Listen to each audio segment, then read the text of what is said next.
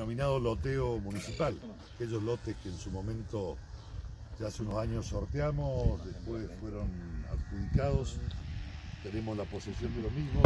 Eh, queríamos venir aquí para mostrarles que las obras se están haciendo. En este caso, estamos llevando adelante con la gente de Obras Públicas la, eh, el tendido de cañerías de agua potable para que todos los lotes cuenten con este, con este importante servicio. Podrán ver que algunos vecinos ya empezaron a construir su vivienda, lo cual es muy bueno. Eh, tenemos pendiente la parte de electrificación de este loteo.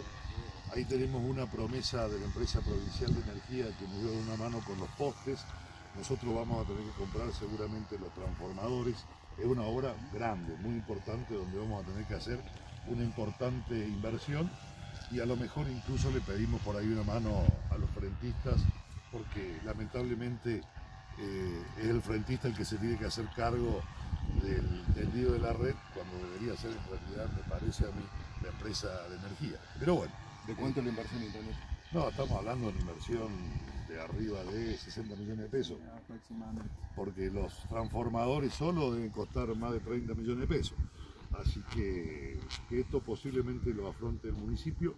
Tenemos pendiente cobrar de la provincia eh, toda la obra de infraestructura que se hizo para el Lotengo, más los lotes que la provincia adquirió para a su vez entregarlo a los que fueron beneficiarios y con esos fondos vamos a comprar esos transformadores. ¿Mm? Y si la empresa provincial nos da una mano, compraremos los postes y el tendido de las líneas y si no, bueno, pediremos el apoyo del frentista para poder llevar adelante esta, esta obra y que quede totalmente electrificado este barrio. ¿Hay posibilidad de que eso se inicie este año, Abelar? Sí, hay posibilidad de que lo iniciemos este año. Eh, quisiéramos iniciarlo y terminarlo, si Dios quiere, este año. ¿Hay posibilidades de que llegue el gas natural a este loteo? Hay posibilidades de que llegue el gas natural. El gas natural pasa por aquí la red, la red este, troncal a unos 200 metros aproximadamente. Está, está la red troncal sobre la avenida San Martín. Así estamos muy cerca de la avenida San Martín. Sí, ¿por qué no? Pero bueno, yo creo que esto es para otro, otra etapa, para otro momento. Sería muy bueno, ¿no? Sí. Juan Manuel, se están presentando muchos planos de vecinos que ya están interesados en construir. Sí, como el caso de estas dos obras en construcción, ya tienen plano aprobado.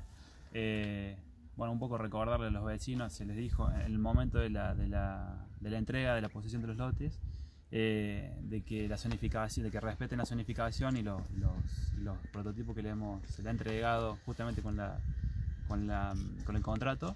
Eh, acá aplica una zonificación eh, de, de, acuerdo al código que es la Z6, es muy similar a lo que está este, el, barrio vecino ahí en, en, la zona del Valle del Sol, en, en Las Marías.